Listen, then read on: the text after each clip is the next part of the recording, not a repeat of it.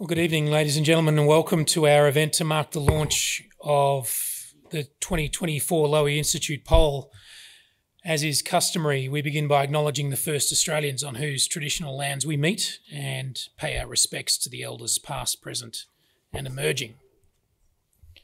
I'm Sam Roggeveen, Director of the International Security Program at the Lowy Institute, and we're here tonight to mark the 2024 edition of the Lowy Institute poll. The purpose of the poll, which is almost as old as the Institute itself, is to learn about what Australians think about the world and Australia's place in it. Allan Gyngell, the first executive director of the Lowy Institute and much missed since his passing last year, said that the poll was conceived because there had previously been no reliable way to track what Australians thought about critical international issues and nor was there any way to know how these views changed. Well, we're 20 editions into the poll now, so we've filled that gap. And Allan rightly called the Lowy Institute poll an extraordinary national resource. Now, my job tonight will be to ask some questions of our panellists, who I'll introduce shortly, and also to facilitate a conversation with all of you. But first, I'm delighted to offer the floor to Assistant Minister for Foreign Affairs, the Honourable Tim Watts MP, who joins us to open this event. Tim Watts is the federal member for Gellibrand and has served in his foreign affairs role since 2022. He was first elected to the House of Representatives in 2013. Before entering Parliament, Tim worked in the technology sector and as a lawyer and as a senior advisor to the Victorian Premier. He's the author of two books and as one of the most well travelled members of the federal parliament, I dare say he's collecting material for a third. In fact, I believe Tim has just returned from a G20 meeting in Brazil, so we're grateful to have him with us today. Would you please welcome the Assistant Minister, Tim Watts, to the stage?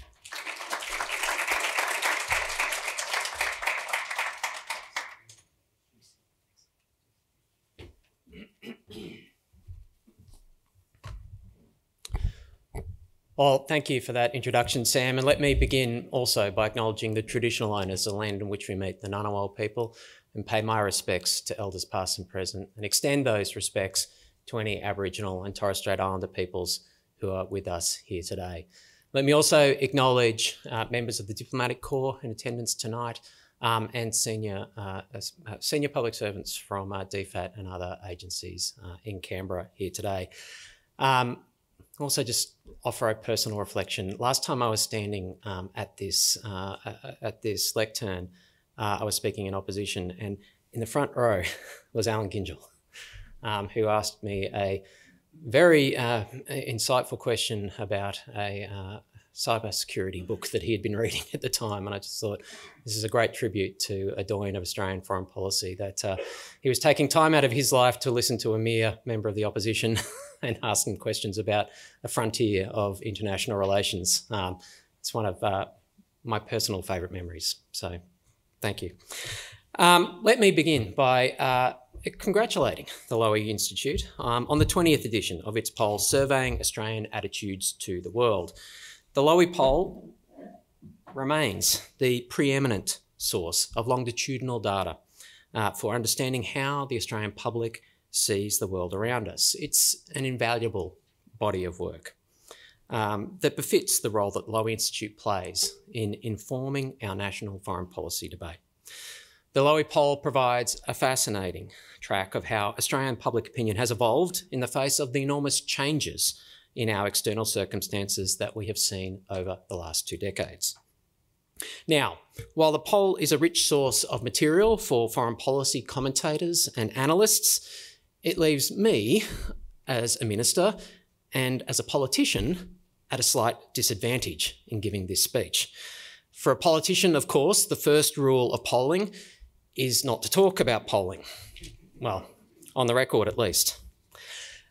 There are many good reasons uh, for me to leave the editorialising of the specific ins and outs of this poll to the commentators. But let me share with you some high level reflections of the findings of this year's poll with you today. As the Foreign Minister has said, in the Albanese government, our foreign policy must be an accurate and authentic reflection of our values and interests, of who we are and of what we want. Now, in this way, we regularly say that under the Albanese government, our foreign policy begins with our national identity. And now, to me, our identity is best characterised by what that great Indigenous leader, Noel Pearson, has described as the three stories that make us one as Australians. The story of 65,000 years of Indigenous heritage, which is its foundation, the story of our Westminster institutions built upon that foundation, and the story of our multicultural migration that has so enriched our nation in recent decades. So that today, half of Australians are either born overseas or have a parent born overseas. Now, Australia's modern national identity is an obvious source of influence for Australian foreign policy. It's a superpower for our engagement with the world. As a country where half of us were either born overseas or has a parent born overseas, anyone anywhere in the world can look to Australia and see something of themselves reflected. And at the same time, we can look within our own nation um, and find a point of understanding, a point of connection uh, with anyone anywhere in the world. But this source, this modern national identity isn't just a source of international influence, it also informs our values and interests and the strategic priorities that flow from them. And in this context, the Lowy poll contributes to our understanding of who we are, what we want, and how we as a people see the world. Strikingly, it shows extraordinary and enduring public support for Australia's diverse modern identity. The poll reports that, quote, Australians are overwhelmingly positive about Australia's cultural diversity. Nine in 10 Australians think Australia's culturally diverse population has been either mostly positive or entirely positive for Australia. And this is one finding that hasn't changed in the life of the Lowy poll. And frankly, I think this finding is something that could be easily overlooked, as it's something that's become so fundamental to our national identity that many Australians take it for granted. But it's a finding that has implications as much for how we conduct our foreign policy as much as it does for what we seek to achieve through it. As the Lowy poll confirms, Australia's modern diversity is now a fundamental, deeply cherished dimension of our national identity, but it's not just the scale of our connection to the world that's grown over the lifetime of the Lowy poll, so too as the intensity of this connection. The Australian people are directly connected to the world around us with both its opportunities and with its traumas in ways that would have been unimaginable to previous generations. Families are connected by transnational group chats, diasporas are connected by social media networks, cultures are connected by international streaming platforms. As a result, the stakes of events overseas are felt more intensely by many Australians than in the past. And as a result, the Australian government's response to these events are even more intensely scrutinised across multiple fronts. Given the diversity of our society, it's inevitable that Australians will often disagree on these intensely felt issues with each other and with their elected representatives. And these disagreements can be exacerbated by the new political and media ecosystem that fuels polarisation and empowers extreme voices. It's in this context that we say that preserving our social cohesion as a nation is a priority of the way that we do foreign policy. As I said earlier, this is as much about how we do things as is what, about what we are trying to achieve. Social cohesion is as much a process as it is an end state. It's not about seeking unity through homogene homogeneity of opinion. It's about recognising that Australia is a diverse, pluralistic society and that we will always have differences of view, but that despite this, what we have in common as Australians matters more. Despite our differences, we have more in common. That no matter any individual disagreement, we have a shared future as Australians, and every citizen has a stake in the success of our nation. That our shared successes relies on us being able to work together in our diversity, in our schools, in our universities, in our workplaces, in our sporting teams, in our local communities, even with people who may disagree with us. And that because of this, there's value in disagreeing respectfully and listening empathetically to those with different views. Because regardless of the issue, there's a bigger picture that unites us. Now, in this context, the Lowy poll's findings of, on Australian attitudes to our democracy have, for many years, provided a salutary warning. One of the things that unites us, all of us as Australians, is a shared commitment to democratic values the second pillar of Noel Pearson's conception of Australian identity. Now, despite this, many of us are worried about the health of our democracy. And we're acting on this as a government. It's why we're taking action to address these challenges through our Strengthening Democracy Task Force, our Counter Foreign Interference Task Force, and our newly announced TechFit, the Technology Foreign Interference Task Force. It's why we're acting through our whistleblower reforms, through our upcoming reforms to political donations and electoral spending, and through the establishment of the National Anti Corruption Commission. We're also taking steps to ensure that every Australian feels safe and included in our democracy through initiatives like the appointment of our envoys to counter anti Semitism and Islamophobia, and the appointment of Peter Khalil as Special Convoy, uh, Envoy for Social Cohesion. This is important work, but let me emphasise to you what I emphasise to every school group that I speak to at Parliament House. Our democracy belongs to all of us as Australians. We all have agency in how it operates. We all have a choice in how we exercise our democratic rights and how we treat our fellow citizens. A choice of whether to listen rather than to shout, to show empathy rather than contempt, to seek to understand rather than to instinctively condemn. Usefully, the Lowy poll gives us some ballast to our understanding of Australian public opinion in this respect. A consistent finding of the Lowy poll's 20 year history is how few Australians position themselves on the extremes of the spectrum of opinion offered by the poll's questions. It's a reminder that while the extremes may be loud, the bulk of Australian public opinion remains in the middle ground. In this way, it's a reminder that it's a mistake to empower the extremes expressed in our political debate by giving them undue weight and attention that it's a mistake to assume that the most extreme voice that you might see on social media is an accurate rep representation of the bulk of the people with a different view to yours. That it's a mistake to buy into their artificial binaries and to allow their tactics of division and polarisation to become a self fulfilling prophecy for our community.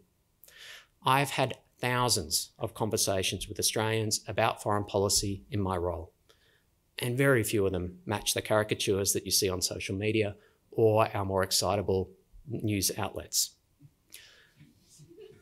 Apologies to any that may be in attendance.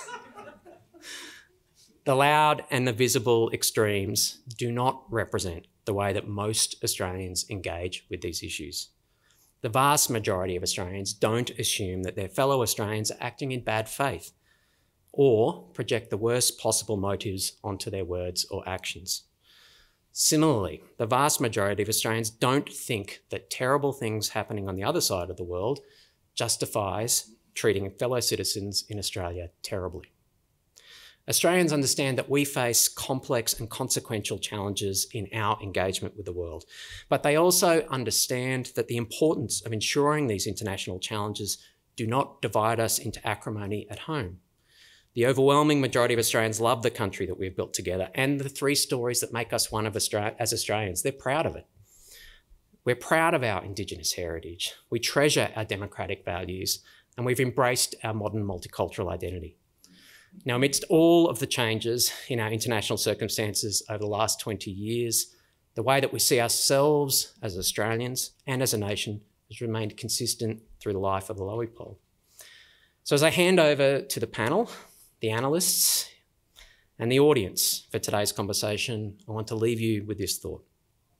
There's plenty to discuss and to debate and to disagree about in the findings of this latest Lowy poll and in Australia's engagement with the world more broadly.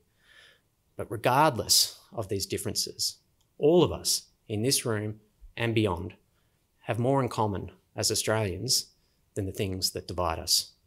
I'm looking forward to listening to a fantastic discussion of the panelists tonight. Thank you all for coming. And thank you to the Lowy Institute for an outstanding public resource.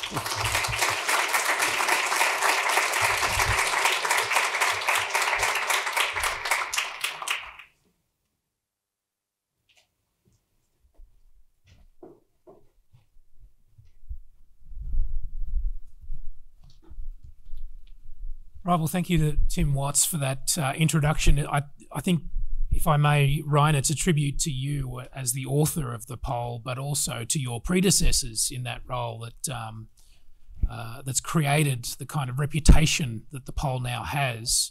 Uh, that someone of um, uh, of Tim's stature would be here to open uh, our event, our discussions this evening. So thank you, Tim, and um, uh, we also look forward to the to the discussion to come. So th- there is a lot to talk about this evening. There's uh, the U.S.-China relationship, climate and energy, India, on which we have new data, and the threat perceptions of Australians, which the poll measures every year. Uh, also, immigration and multiculturalism, which uh, Tim spoke about. Uh, and of course, I want to get to all of your questions. So, I'd like to begin now by introducing my colleagues up on the stage. I should briefly note some of you will have seen in your advertising that uh, Avani Dias from the ABC was going to join us on the panel for this event. Unfortunately, she is absent due to illness. But let me begin by introducing Ryan Neelam, uh, Director of the Public Opinion and Foreign Policy Program at the Lowy Institute and Project Lead on the Lowy Institute poll. Prior to joining the Lowy Institute, Ryan spent 14 years as an Australian diplomat he was most recently Australia's Deputy Consul General in Hong Kong and acted as head of the consulate during an extended period of political upheaval there. Ryan was also posted to the Australian mission in the UN in New York, where he represented Australia on global economic, climate change, and human rights issues. He was a key Australian negotiator of the UN Sustainable Development Goals, and he served on Australia's UN Security Council team during the 2013 2014 term. And to my immediate right is Michelle Lyons, who's Research Fellow in the Lowy Institute's Indo Pacific Development Centre, where she works on international climate change policy and climate finance. She has more than a decade of experience working uh, in the public service and at the Australian National University on climate change policy. Michelle is a member of the ANU Institute for Climate, Energy and Disaster Solutions. She's completing her PhD at ANU. In fact, in for all intents and purposes, has completed uh, on uh, the roles of public investment in the transition to net zero emissions. Michelle is a recipient of the prestigious Sir Roland Wilson Scholarship. Would you please welcome our panelists?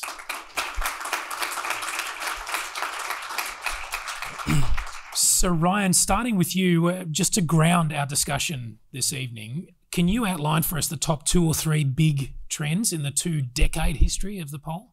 Sure, and thank you for the introduction, Sam, and to Minister Watts for the for the warm uh, opening. Uh, look, it's been a when we look back over the history of the poll, there's so much data in it, but three things really stand out to me. The first uh, is on China. It's quite clear when you look at the data across the history of, of, of the poll that Australian attitudes have undergone a dramatic reversal. So when we started polling in 2005, you can sense that you can see a sense of optimism about China's rise, about the uh, economic potential and the economic potential of the relationship um, come through in the poll. And that carried through well into the, the, the next decade. So in 2016, um, Australians ranked China as Australia's best friend in Asia. Now, of course, we've had a very rocky period in relations since then, uh, and uh, particularly in the last few years, we saw the official relationship uh, undergo many challenges. There was a lot of media, public rhetoric, and uh, and of course, China has changed uh, dra- dramatically over that period too. Um, and now we see uh, Australian trust in China at very low levels and threat perceptions uh, have remained at, at very high levels. So that's uh, that's one of the major changes is a reversal in how Australians look to our major trading partner. Um, secondly, I'd point to the way uh, that Australians perceive threats facing the nation. That's changed dramatically as well. When we started polling, Australians were concerned about uh, international terrorism. Uh, they were concerned about the uh, the, the threat of climate change, uh, and they were they were concerned about uh, the uh, n- the prospect of nuclear proliferation. When we look at the threats that top the list now, it's cyber attacks, number one, uh, and then uh, numbers two and three are the threat of conflict in our own region, in whether it's over Taiwan or in the South China Sea. So those threats are now closer to home and uh, and seem a lot more uh, clear and present than uh, than than uh, when we look back over the history. And then the third thing I'd point out is, and, and this is more of stability, but uh, stability in uh, how we look at the views, how we look towards the US, the United States, um, in in that Australians, on the one hand, have uh, have always seen the uh, U.S. alliance, the, our alliance with the United States, as key to our own security. But at the same time, we've always had misgivings and, and seen risk in where that alliance may lead us. So at the start of the poll, it was uh, concern about the war in Iraq. Now it's concern about whether we'll be drawn into a war in Asia. And I'll go. We'll, we can go into more, each of those in more detail. Yeah, great. Well, thank you, Ryan. And um, you you mentioned uh, climate change amongst those issues of threats. So, Shell, let me turn to you then, and specifically your field of climate change. Twenty years of data now to uh, to draw on about Australian attitudes. What can we conclude? And I'm, I'm particularly interested to know about the link between the cost of living in Australia and support for costly measures to reduce climate emissions. Thanks, Sam. Um, well, I think uh, it was really interesting looking over the, the poll data this year because there was a slight incongruence between the way Australia perceived their, their international role um, in sort of fighting climate change versus what they see the government's role um, being at home. And so for, for 20 years, we've asked a, a question um, which sort of looks at what Australia and the, the world should be doing to address climate change. And it has three broad options. And so one is that, you know, climate change is a very serious problem, that it needs to be dealt with immediately, um, and that that needs to occur even recognizing that that will be expensive. The second option is a, a sort of more measured um, uh, statement that says, you know, climate change is important, but we don't need to worry about taking sort of significant action for a while yet. And the third option is a more sceptical statement that um, questions whether or not Australia and the world need to do anything on climate. And so I'd say, you know, first off, that that sceptical statement over the 20 years of the poll has had very low support across the Australian public. So it's a very small uh, group of people that are sceptical um, of the need to take action on climate change. But what we have seen since the Paris Agreement was signed in 2015, almost 10 years ago, was that there has been a majority of Australians that agree with that first statement that we need to take uh, sort of significant action on climate change and that they, rec- they recognise that there will be costs in doing so. Um, and so then it was interesting this year because we uh, also asked a question about, you know, well, what um, what should the government uh, in Australia, what should their main focus be on climate and energy? And just a couple of years ago, uh, there was a clear majority of Australians, 55%, who thought that the Australian government should be focused primarily on reducing emissions. But this year, we saw a shift where there is now almost a majority, or 48% of people, that think that the Australian government's focus should be on um, uh, uh, not uh, on reducing emissions, but on reducing the, the cost of household energy bills. And I mean, I don't think that that would be a surprise to anybody in this room because there's been, you know, a number of um, sort of significant drivers of increases in household energy bills um, that are, you know, mostly factors outside government controls, like supply chain issues due to COVID, the uh, Russian invasion of Ukraine, uh, etc. Um, so.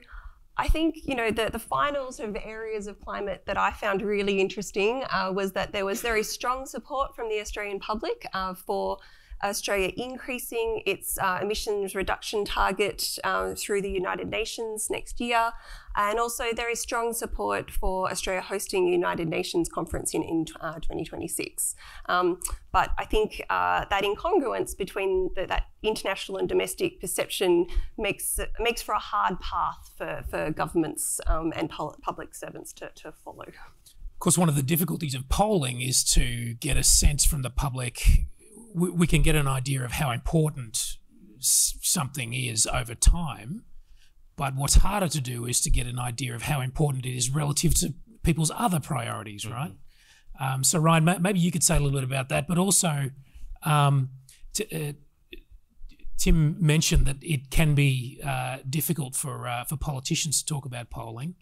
Here's an issue that is going to cause a little uh, friction between the parties because one of the results that got a lot of attention this year was the response to nuclear power as a source of energy.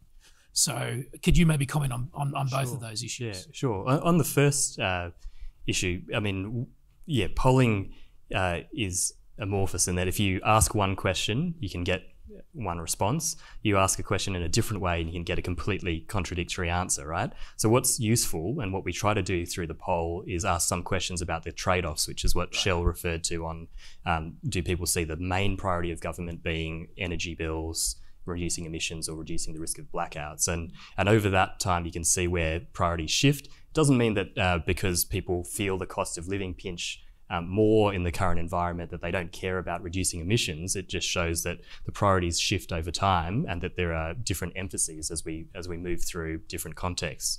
Um, but on nuclear, I mean, this is we asked about uh, people's levels of support for a range of different energy sources, and nuclear was one we came back to this year, where over 60% of the public said that they see uh, that they think um, that, that, they would be supportive of nuclear as part of Australia's overall energy mix alongside renewables. Just let me interrupt. Was this yep. before or after the opposition announced its support for nuclear power? The policy had been broadly announced, but the detail had um, the, the, kind of detailed announcements had hadn't come through. So citing all of those sorts of things came after our fieldwork. Yeah. Um, and it's a strong contrast when we look back at other questions, different questions over a decade ago in the wake of Fukushima, where there was a lot uh, less support, or actually majority opposition to nuclear power as part of Australia's push to reduce greenhouse gas emissions. Um, and, and for obvious reasons, coming off the back of Fukushima, the safety concerns were clear and present. Um, but what I will say, I mean, it does look like there is now um, broad openness in the Australian public towards nuclear, but we've only asked one question about what they think about it being part of the mix. We didn't go into depth about the, the, the cost of nuclear, the time frame it would take to actually stand up a civilian nuclear agency. And those are the sorts of questions that we should be seeking advice from economists and scientists about how they how various energy options can play a role in reducing our emissions. So I think there's a there's a debate to be had. But what the value of that question is that it shows that the public has um, a, a, a, positive or open attitude towards nuclear as a source of energy. They also uh, have strong support for renewables. The government's renewable energy target uh, has uh, strong majority support there, and uh, and coal has changed completely um, from uh, now a majority oppose uh, opening new coal mines, exporting coal. So there's a lot of change there in the energy results of the poll. If, if I can be permitted one observation, actually, one, one thing that surprised me about the AUKUS debate in Australia is how little of it has centred on uh, the nuclear reactors in these submarines. I, I had expected that to be uh, an issue of real friction around mm. AUKUS. Now, perhaps that's still to come, particularly when uh, at some point in the future the government announces uh, an East Coast base for the submarines. But perhaps I had overestimated uh, how much of a uh, well a third rail of politics this this whole idea of having nuclear reactors is that the the public is more relaxed about this technology. Although historically, as you say, Fukushima would tend to suggest that we do jump around a bit on that issue. Yeah, I mean, I was surprised not to see more opposition. Not, not that there hasn't been opposition to AUKUS, uh, the nuclear component, but I think the um, the, the that, that it wasn't the dominant sort of stream of the debate. And I and I will say I think there's a lot more debate to be run on AUKUS um, because we, we ask at a broad level about levels of support for acquiring submarines. You start to scratch under the surface. You ask about cost the impact of AUKUS on the region, on regional stability, and there's a lot more variation between um, the responses we get. So, um, look, you can kind of drill down further into these questions, and I think it's useful to do that um, as we go through polling. Glad to hear there's more debate to come on AUKUS. I'd be out of a job if. Um, now, Ryan, you you, you highlighted in your first response how drastically Australian attitudes towards China have changed over the past two decades. Let's drill down into that a little bit. We saw sentiments start to drop from about 2018 and mm. it hit rock bottom in 2021, 2022. And now, since the Albanese government took office, we've had uh, two years of a relationship stabilisation, is I think the term the government prefers.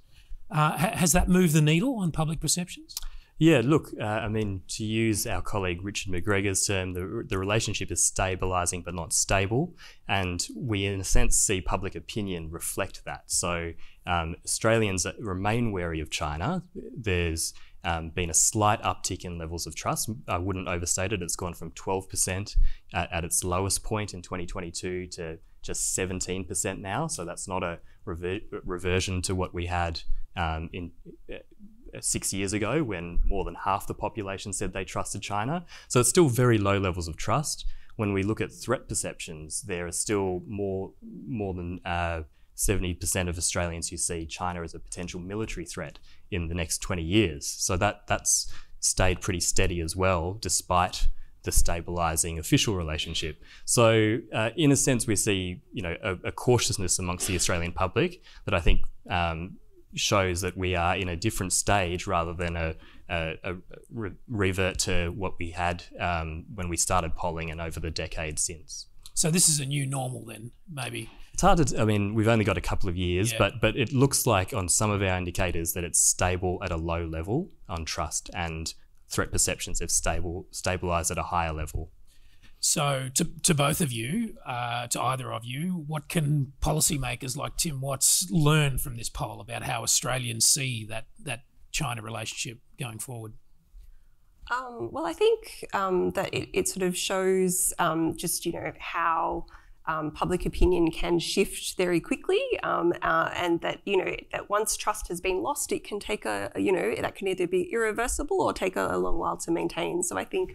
Yeah, I would absolutely agree with um, with Ryan that you know it's it's early days to see whether this is yeah this is going to be sort of a new normal or not. Um, yeah, I, would add that just on we asked a new question this year on uh, do Australians place greater importance on maintaining a stable relationship with China or on working with allies to deter China's use of military force. And that, that is kind of at the heart of many of the, the, the, the relationship challenge that we have here. And uh, the results kind of just show that we're, we're in a new period where there's no consensus on the way forward. Slightly more than 50% of Australians said stability should be the priority. Slightly less than half said that uh, deterrence should be the priority. So there's a real um, disjunct there. There are competing tensions that are pulling in different directions, and the government has the unenviable task of trying to manage those, looking out for our interests while keeping open areas of cooperation with China, which we need on a whole range of issues. All right, well, Shell, let's turn to the US now. And of course, should just say that the polling was conducted well before the drama of the US election campaign of the last few weeks. But looking at the US results, what, what are the long term trends in public perceptions of the alliance? Uh, the polls show that uh, support for Donald Trump is the highest for any Republican candidate in history. Broadly, what does that tell us about Australian views uh, around the US election? Oh, thanks, Sam. I, I, mean, I guess on the first issue around uh, the Australian support for the US alliance, I mean, this has been one of the most consistent features of the poll over the 20 years um, that it's been running. You know, whether it's Democratic or Republican administrations, there's strong level of support between 70 and 80 percent. Um, but I would say that while that support is strong, uh, like climate change, there's some incongruence in some of the other results. Um, so this year, I was really interested to see that the question I think that Ryan touched on earlier, where uh, you know, there was a, Australians were asked whether, you know, the US alliance might mean that Australia was drawn into a war in Asia as a result of the, of the alliance that was not in their national interest. And so while 83%, I think, uh, supported the alliance, only 70, uh, there was 75% of people who thought that that was the case, that we might be drawn into a war that was against our national interest. So, I mean, that's interesting. Um, on Donald Trump, uh, yes, he does have the highest support of any Republican uh, candidate in the history of the poll. Um, but I would say that that also comes off a low base. And one of the sort of consistent aspects of the poll has been, you know, majority Australian support for Democratic candidate, candidates across the 20, uh, 20 years. So um, Obama, Clinton, others. Um, where I sort of drilled down a little bit into some of the, the demographics uh, for uh, support for Trump, and you know many of these are similar with his uh, support base in the US, so uh, more popular with men. Um, on a, a, national basis, uh, you know, it's a Canberra audience that we have here tonight, and I thought some people might be interested that uh, support for Donald Trump is actually lowest in the ACT of any. So, I'm shocked. Um, I, I will, will not speculate on why that may be. Um, Ryan, another aspect, of course, of the, of the relationship with the United States, uh, another big new uh, part of the alliance is is AUKUS, of course, which mm. we touched on briefly already. Um, the agreement to build eight nuclear powered submarines for the Royal Australian Navy, but also to uh, deepen cooperation on other leading edge military technologies this is now the second year that we've polled on AUKUS. Third. Third, Third. the year that we've polled on AUKUS. And the support is still pretty solid, right? Yeah, 65% of Australians say they support the acquisition of nuclear powered submarines. And when we first polled three years ago, it was 70%. So there's, you know, a slight uh, drop, but not uh, not hugely consequential. I think that's still um, clear majority support for acquiring these submarines. But what I alluded to earlier was our polling last year, where we asked more questions about um, the cost of AUKUS, and, and most Australians felt that the cost was um, was not worth the capability. And, and then secondly, a question on the impact that having these subs would have on our region. And that's where you see just results all over the place, nothing clear. But um, you know, some people saying that it's going to increase uh, regional instability, others saying it will increase stability, and then a huge amount of people, more than 50%, saying they either didn't know or weren't sure. So um, that big non-response to me indicates that this debate is in a very early stage. Australians have sort of grasped maybe the, the, the high-level contours that we're getting these these more capable submarines. That that may be a good thing for our um, military capability. But then how that plays out, what the impact on our economy is, how we make it happen, and what the, how the region receives it, are all things that are sort of in the blurry future. I'm tempted to editorialise here, but I'll leave that for the audience. I'll only say actually that public awareness of AUKUS I find really impressive. Hmm. Um, in the previous polls, no more than 8% said that they had not heard of AUKUS, which mm. seems an extraordinary number to me for such a new initiative. Um, so I wanted to turn to one of the new questions in the poll this year, uh, Ryan, on India. You, you asked Australians to prioritise three key issues in that relationship. And interestingly, Australians ranked trade and investment as the highest priority, followed by human rights, and defence cooperation was ranked last. Can you unpack all of that? Yeah, look, we, we haven't uh, done a huge amount of polling on India in the past, and we thought it was time that we actually start to gather some more data on this very important relationship. And um, one way we tried to get at it is looking at these, these three big issues in the relationship. Um, on the trade and economic front, the, the fact that that was rated highest amongst um, Australians was, you know, I think it reflects the sense that India's Australians still see great potential in India as an economic partner, and that that has, hasn't fully been realised yet, um, and that there's a lot more rise left in India. Um, whereas China may be encountering um, great economic challenges at home, uh, India uh, is still sort of the, the, the untapped giant, and that there's a lot a lot more we can do with that. But um, there's also the aspect of economic diversification, which we know after the, the coercive measures that China put it against Australia over the last few years, there was a, a, a look out to where else we could um, insulate ourselves with other partners, and India was the obvious answer for many, but not always a successful one in terms of diversifying where we sent our products. So, that, so that's the trade and economic front, and it's no surprise, I think, that that comes pretty high when, when Australians think about India. Um, but human rights has been, I think, rising in, in prominence when Australians think about the relationship.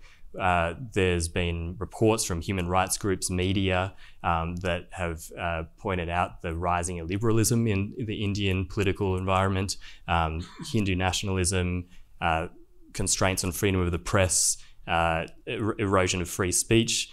Um, there's been a number of instances. One of our uh, our fellow panelist who was going to be here actually uh, was essentially left India after reporting on Modi and didn't have a visa renewed. So there's there's there's issues there I think that are filtering through to how the Australian public um, see India, and it's not all good, right? So there's the potential, but there's mis- there's concerns there as well. Um, and then on the strategic space, that came lowest out of the three issues which I think reflects that even though uh, the government is clearly very focused on India as a potential partner in balancing China's growing um, growing military might in the region. Uh, India uh, th- that hasn't flown through to the the public consciousness net. They still don't see. Uh, India as a uh, as as a natural strategic partner, and there's probably more to be done on communications there. And where does Modi fit into all this, Prime Minister yeah. Modi? Yeah, so Modi's, uh, I mean, he he's slipped seven points this year. So uh, 30, I think 37%, if I haven't got that figure wrong, is the uh, number of uh, the, the percentage of Australians who have confidence in Modi to do the right thing. So that's pretty low, and that's about the same we, we see um, India and Indonesia both kind of underperforming in our in, across our indicators when it comes to trust in the country and confidence in the leadership. Um, so Modi uh, went down. Trust in India was sort of low in the middle band. Uh, and that's really struggled to break above uh, uh, into the, the higher levels of trust that we see for countries like Japan uh, in the poll. So there's a there's a real disjunct there between the sense of India's potential, uh, it's a it's uh, the importance that we place on the relationship, and how the public conceptualize this emerging power. Shell, did you want to say something about the parallels with Indonesia yeah, I mean, I think um, I was actually really interested to see the the two um, results for um, for uh, Modi and uh, uh, Joko um, Widodo because I think I would have expected um, uh, uh, Widodo's results to be higher, um, even though they historically haven't been. But there's been, you know, a lot of um, press this year about, you know, he's finishing up his, his final term and um, you know, under uh, his presidency, Indonesia has reached middle income country status, uh, which has, you know, uh, and there's been a lot of um, positive sort of outcomes um, in the, you know, the Australia-Indonesia relationship, including, you know, a very successful ASEAN um, summit earlier this year. So I think um, that's sort of an interesting um, area to watch. And I, you know, as um, we scale up our climate change engagement with Indonesia quite significantly, I'll be interested to sort of see, you know, how those results change in coming years. Now, final question for you, Shell, before I open it up to everybody. So please um, have your questions ready. The and, th- and, this is the the issue that um, that uh, Tim Watts spoke about in his introduction. The poll records that roughly half of respondents say migrant intake to Australia is too high, and half say it's either about right or too low. Excuse me. It also shows overwhelmingly positive attitudes to cultural diversity only, excuse me, only 10% said Australia's culturally diverse population has been mostly or entirely negative for Australia. So, how do you reconcile those two things, which might at least on the surface look contradictory? Yeah, oh, well, I won't um, spend too long on this because I don't think I could add much to the, the Minister's really thoughtful um, and um, excellent remarks.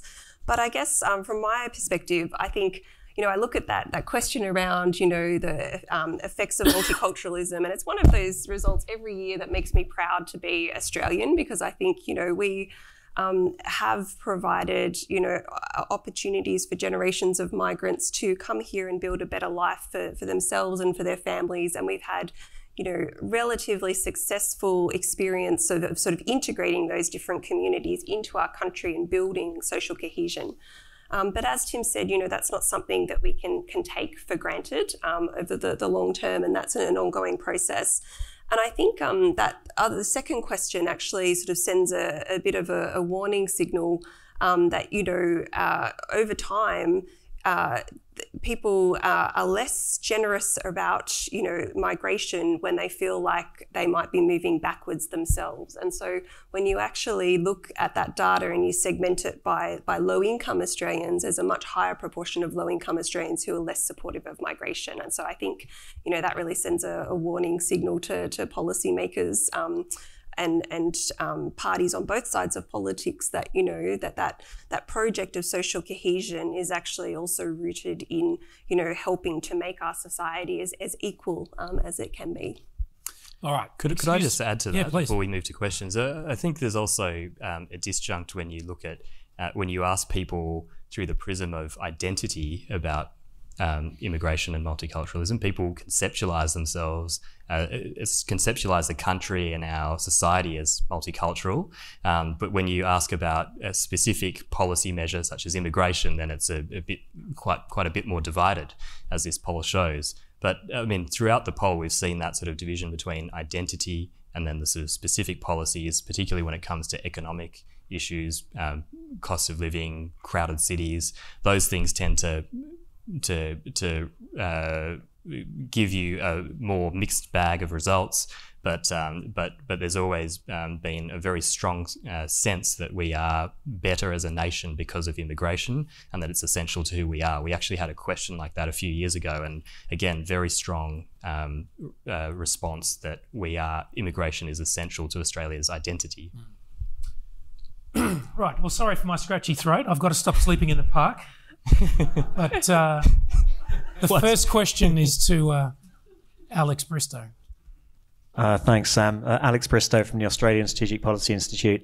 It'll come as no surprise my questions about China, but um, uh, just looking at your um, your data here, um, do you think the way that the relationship is framed uh, may be one of the factors why public opinion about China has improved somewhat? So I see in your description here you, you pick up you know the good news of, of Cheng Lei's release, um, the um, decision by Beijing to remove some of its unilateral trade sanctions. Um, but of course, in the same period, um, Yang Hengjun has been sentenced to death. Um, there's been the multiple incidents where the Royal Australian Navy has been coerced. There's obviously in the background there's China's co- uh, coercive actions in the region, the, the build-up of their forces, the PLA, and including their military forces.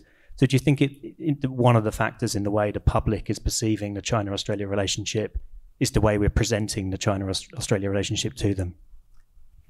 Yeah, if you're if you're talking about the polling, um, what we try to avoid doing is educating the public or trying to give them, um, you know, a sense of the context. We we keep our um, longitudinal questions very, um, very as as as uh, constant as possible. So when it comes to China, um, the question about trust has been the same every year. How much do you see how much trust do you have in China to do the, the right thing? And that hasn't changed over the, the course of the poll. So I, I don't think that's as affected by um, by framing. What you might be referring to in the poll report is sort of what we've tried to analyze a bit around the context of, of those results. Um, but but if you're talking about the way that um, leaders um, frame the relationship, then then I think yeah, absolutely, it, it matters. It makes a difference. But I'd also point to that there are there there are underlying drivers of how the public perceive China, and it wasn't um, it wasn't necessarily how leaders talked about the economic coercion from China, but the fact that it happened and that there were large numbers of, you know, huge amounts of Australian exports that were blocked over the over several years. So there are there, I think, um, there are there are underlying factors. Media and leaders might play into that, might exacerbate certain aspects of it. Um, but uh, I, I think part of the the dive in public opinion towards China was uh, largely a result of those actions, those coercive actions. I can say from long experience, the, the exact wording of questions is a subject of intense discussion inside the Lowy Institute every year before we uh, before we go out to the field with this poll. Um, who, who's got another question for us? Please raise your hand. And yes, in the second row over here.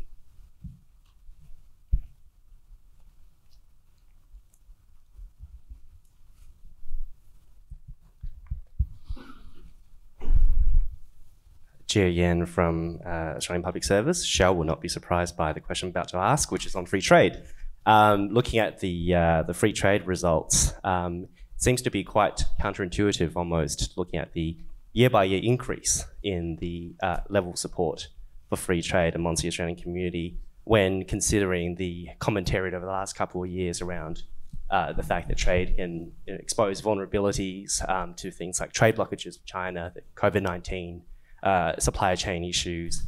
Um, and of course, looking down the bottom of your report there, it says that it, the strong report for free trade coexists with support for subsidies and support for friendshoring and uh, and uh, friendshoring supply chains, and of course in the context of the government's future made in Australia. So those seem to sit uncomfortably those results, as well as with the commentariat. What might explain the persistent strong support for free trade, which is good for trade policy officials, I might say, but be interested to, to hear. Uh, well, thanks for the, the question, Gia. I, mean, I think, um, you know, it's one of those instances, once again, where we see um, disparity between um, result, uh, the results across a, a, range of areas. I mean, I think, you know, um, that there's been consistent, uh, fairly consistent support for free trade amongst Australians over the, the life of the poll. And I think most Australians um, have recognised the benefits that a free trading system uh, allows us. But I think um, as you know, the China results, the India results, and other results show, people also recognise that we're in an increasingly complex world where um, the, the free trade uh, system is not necessarily operating according to the rules-based order, and so there's a need to you know think about how we sort of manage uh, our sort of economic and uh, resilience and uh, national security going forward. And so you know, the, I think that um, support for supply chain diversification is sort of a reflection of, of that um, as well. So um, I mean, I think it's yeah, it's, it's really it's been very interesting across many subject areas of the poll that um, Australians are, are open to um, having their cake and eating it too.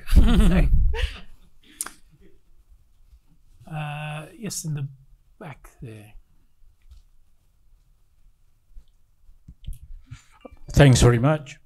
I'm a local person. I'm Sam Wong here and uh, I come here all the time and listen to wonderful thing, and also congratulations for the Lowy Institute. For many polls, you guys done a wonderful job. I was a good friend with Frank many years ago, and him and I and many others supported the establishment for the SBS TV and radio program. And Frank did a tremendous job to argue or support to get the government to get it going. Therefore, recognition to Frank forever from the multicultural community point of view. My question is actually go back to page 30. In 30, this is about the Australian government performance. Now, there was a very good diagram there. About 30, or actually is 49% confirm that the government in foreign policy do a good job. And then you got 7%, excellent job. But the rest, now this is interesting, is over 40%, they don't support it. Now, I just, with the ministers here, I just wondering what's your reflection to that? Because you mentioned that I supported. You're wonderful, engaging with community. You talk to thousands of people about things in general, including foreign policy. Now, with this survey result, how does it reflect the current Australian policy Interesting enough, any other department, perhaps except defense and PM&C, would go out and talk to people about what people think. And I'm sorry, I've been living here for so many years. I never heard of anybody go and ask for foreign policy, go to the community, say, what do you think? Now, is it about time we got to change, or there are some other ways to engage the community for reflection of that result? Thank you very much indeed. I can I can have a crack at that. I mean, if you look over the page, uh, just on your first part of your question, sir, about the uh, the the government's um, foreign policy performance. So yes, it, it's broadly divided. Uh, half saying that the government's done a, an okay job at foreign policy. If you want to break down why uh, that is, I think look at the government report card where we actually ask about specific issues, and and you can get a sense then of where people think the government's done better and where it's done worse. Up the top of the list, people say that uh, maintaining the, the, Labor government's done a great job at maintaining a strong alliance with the United States. Down the bottom, responding to the Israel Hamas war, managing approach to climate change gets lower points. So there's there's um, a bit bit more granularity there if you're seeking to understand where people mark the government higher and lower. Um, but when it comes to uh, you know public consultation, maybe I could just sort of go back to my role, previous role as a public servant. Um, you know, part of what DFAT uh, has tried to do for a long, long period of time is um, speak to the public, try to understand where public wants foreign and trade and development policy to go. There's actually a little known um, network of state and territory offices which are charged with doing exactly that I used to work in one, and they're almost embassies to that uh, the people of that state. Um, now, uh, you could argue that there's more to be done in terms of communicating with the public and understanding where they want to um, where they want foreign policy to go. Um, but there is that intent there, and there is um, an investment in in uh, in that effort. One last comment. It appears to be probably not foreign affairs and trade, but perhaps this is not only foreign affairs and trade, but I'm talking about other government department, including defense and prime minister and cabinet. They look for outside consultants. Some I don't want to name the institutions in general, but it seems to be they're lopsided. Always one side is right, one side is wrong, and you guys paying them lots of money and receiving their advice. Now that's okay. That's your determination. But as a taxpayer, or little people like me, for example, how could we feedback you guys to have a more balanced view about the whole matter before you make a considered decision in foreign policy. Thank you. I would just, um, in response to that, say that you know this is the, firstly that the Lowy Institute is an independent think tank that we're not part of government, um, but also that you know the, the, the Lowy Institute poll is a, um, a long-running and excellent uh, sort of viewpoint of what Australians think on, on public policy issues, and that was exactly why it was created. Because you know I absolutely agree with you that it is really important to understand what Australians are thinking about issues, and that sometimes the loudest voices in the room are not reflective of what most people think about foreign policy. And so, you know, the poll, I think, does a, a really um, fantastic job of, of, looking at a very broad spectrum of public policy issues and how people's perceptions are changing over time. And, you know, I hate to kind of to buy into the Canberra bubble jargon, but you know, to think, you know, what are Australians thinking broadly outside the Canberra bubble? Right, indeed. We have time for one or two more. And we haven't. Ah, now there's a hand up there about.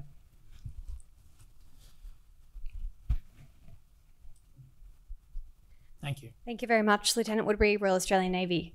My question is about Pacific Islands, and similarly to the my ASPI colleague about Australia's presentation of the narrative of China in the Pacific Islands.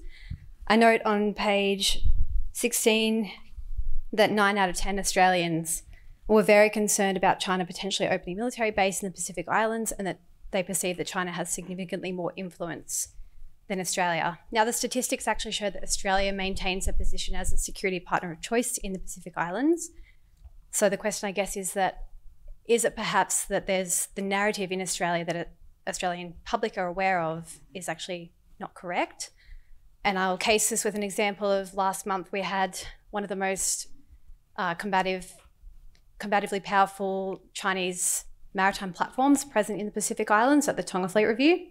That was widely reported across Australian uh, news agencies. But at the same time, we also had the Australian DPAT program with the C-17s being signed off. We had ADF forces in Solomon Islands for SIAF efforts. We had an Australian warship in the Pacific alongside the US, and that to me just didn't seem to be presented in the same uh, with the same intensity. So I wonder if that skews the statistics a little bit, and if you can comment on that. Yeah, look on the response on uh, which country wields the most influence in the Pacific. I think it's clear that China does um, occupy an outsized role in how the Australian public can, can considers security in the region. And uh, I mean, that question is not just about security, it's also about influence, whether it's political, economic. People can take that in different ways. But uh, I think the point you're making is that there, there's a lot happening when it comes to Australia's role with Pacific Island countries on the security front. We are a, a, partner of choice for many of those countries. When it comes to the economic front, we are the largest aid donor in the region still. We provide a lot of um, official finance. Uh, and we are a resident member of the Pacific Islands Forum, so we're in the region. So, so the, the, the public don't necessarily clock uh, the whole gamut of activities that are happening, but what they have latched onto and what it does seem registers in registers in this poll is that the the the worry about China's presence in the Pacific, which um, there's been effort, there's been intentionality. We've seen efforts to open, uh, to establish military or policing presences in some of the Pacific Island countries. That comes through the media, that filters through the public um, consciousness, and that does uh, tend to, to, I think, play into the results here. Um, so that's, uh, I'd, I'd, agree that I, I think there are, um, that not, the, the results don't necessarily reflect the role that Australia has, but I think there's also um, good reasons for why we, we see uh, how that result has played out. Now we have only time uh, for the two of you just uh, to offer some brief wrapping up comments. Any broad observations that you want to finish with? Shell, can I start with you? Yeah, uh, well, thanks, Sam. I think um, I have two uh, brief observations to make. Uh, and the first would be that, you know, there has never been a more important time for the Lowy poll uh, to be sort of uh, in operation. we're in a very sort of fractured global landscape and you know, there are lots of complex is- issues that policymakers, the media, uh, governments are, are, trying to, to grapple with at the moment. And so it is important to understand, you know, what people are thinking about some of these key issues, but to understand that it's a snapshot and actually you often need to also, you know, drill down into sort of the data um, in, in deeper ways. And I know that I've sent um, a couple of uh, ANU academic friends, sort of um, small avenues where I've said, this is a, an interesting drill down into or maybe you might like to um, look at this further um, potentially. Um, and then the second thing I would say is that, you know, in all of the areas that I was kind of speaking to tonight, I was interested that, you know, there was sort of a real um, sort of incongruence between many of the statements um, that people were making. So, you know, Australians want strong action on climate change internationally. They don't want to pay much for it at, at home if possible. You know, we uh, support the ANZUS Alliance, but we don't want to be drawn into a war in Asia that's not in our national interest.